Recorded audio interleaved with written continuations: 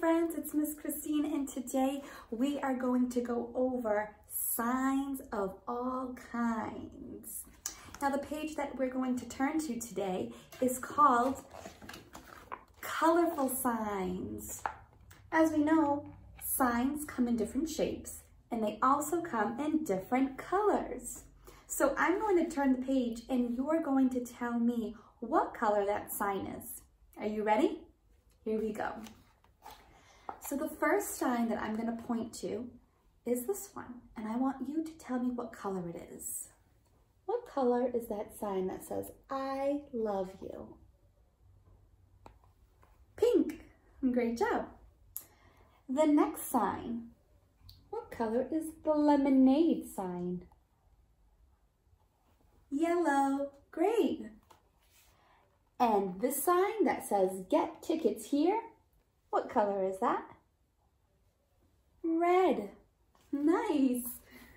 If we move up here to the top, what color is this sign? Green. And this sign? Orange. And the last sign? Blue. Great job.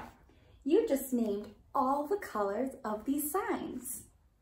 If we do take a look though, there are some other colors that we can find on those signs.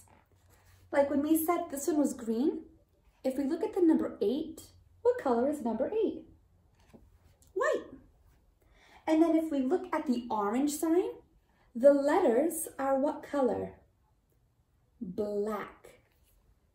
And when we look at the blue sign, the two people, what color? White.